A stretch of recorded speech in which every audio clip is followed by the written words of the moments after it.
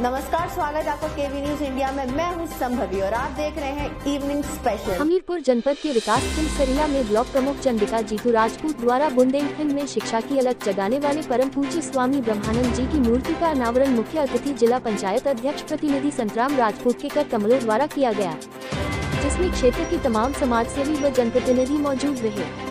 जनपद के विकास खंड सरिया परिसर में बुंदेलखंड में शिक्षा की अलग जगाने वाले परम पूज्य स्वामी ब्रह्मानंद महाराज जी की मूर्ति का अनावरण जिला पंचायत अध्यक्ष प्रतिनिधि संतराम राजपूत द्वारा किया गया। इस दौरान प्रतिनिधि संतराम राजपूत ने स्वामी जी की जीवनी पर प्रकाश डालते हुए बताया कि स्वामी जी का जन्म 4 दिसंबर अठारह सौ चौरानवे में जनपद हमीरपुर के एक छोटे से गाँव बरहरा में हुआ।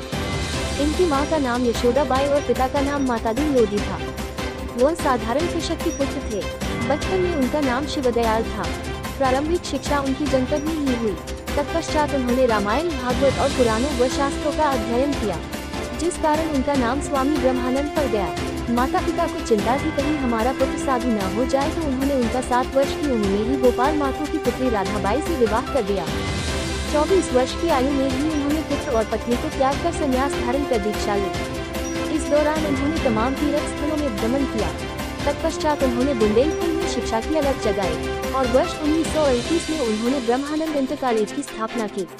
इसके पश्चात 1943 में ब्रह्मानंद संस्कृत महाविद्यालय और 1907 में उन्होंने ब्रह्मानंद महाविद्यालय की स्थापना कर शिक्षा की ज्योति जलाई। उन्होंने अपने समाज और देश की हित व हिंदू धर्म के लिए तमाम बड़े बड़े कार्य किए। उन्होंने कहा कि स्वामी जी हमारी लोधी समाज के भविष्य की जनक है।